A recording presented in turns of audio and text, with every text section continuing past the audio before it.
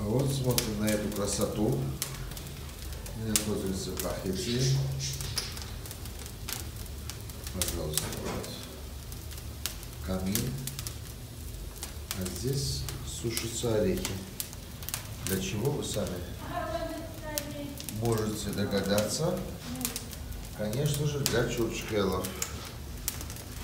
Скоро уже со дня на день начнется важный процесс приготовления чурчхел. Ну а для хороших чурчхел нужны хорошие орехи. Сейчас все это отберется. Все, что вот черненькое, подпорченное, некачественное, все это уйдет. А самые такие красивые, жирненькие и вкусненькие пойдут в чурчхелу.